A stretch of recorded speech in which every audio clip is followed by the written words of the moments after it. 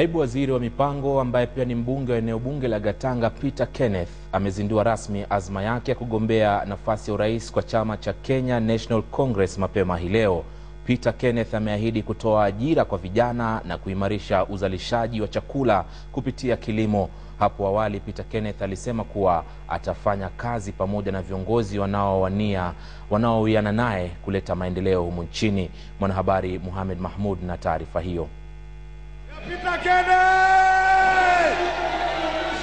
Ni katika jumba hili la mikutano la KICC ambapo mgombezi wa urais kwa tiketi ya chama cha Kenya National Congress Peter Kenneth amezindua rasmi nia yake ya kuwania urais. Mkutano uliohudhuriwa na maelfu ya Wakenya kutoka matabaka tofauti na sehemu mbalimbali nchini. Wote walifika kumuunga mkono mgombezi wao wa urais, huku wasanii mbalimbali akiwemo Amani na Jua Kali wakiwatumbuiza waliohudhuria.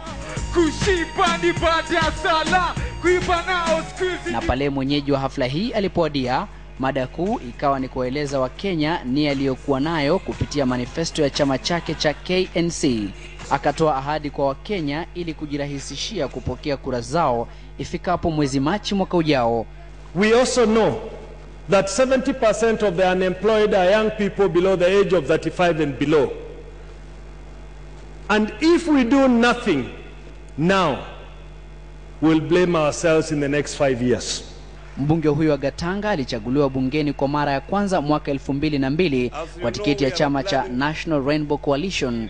Kenneth amesifika kwa usimamizi mzuri wa fedha za hazina za maendeleo ya maeneo bunge almaarufu CDF.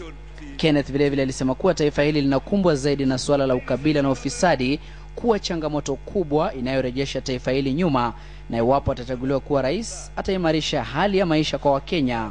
I would like to see a situation where we decentralize the fuel petroleum levy so that we can grow all our 47 counties at the same pace and allow Kenyans the freedom to go wherever they want to go in Kenya. Vile vile aliwahakikishia Wakenya kuwa kila kaunti itakuwa na hospitali ya rufaa katika miaka mitano yake ya uongozi. Waliohudhuria mkutano huo ni waziri wake Wycliffe Oparanya, waziri wa serikali za mikoa Paul Otuoma, ambao wote ni wanachama wa ODM na kutoka mkoa wa Nyanza, We have been very close friends with Peter. Before we, we became, both of us became members of parliament. And even if Peter never invited me, I would have invited myself to come here. Katika manifesto yake, mgombezi huyo wa urais mwenye umri wa miaka 47 ametoa nguzo tano muhimu za kuwezesha kuingia ikulu ya urais mwaka ujao, ikiwemo usalama wa taifa, kuimarisha kwa hazina ya vijana, masomo, miundo misingi na kuimarisha ukulima.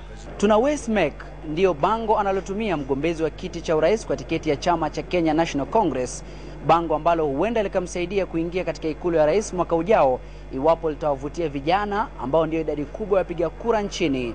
Mohamed Mahmud, KTN Jumapili, katika jumba la mikutano la kcc Nairobi.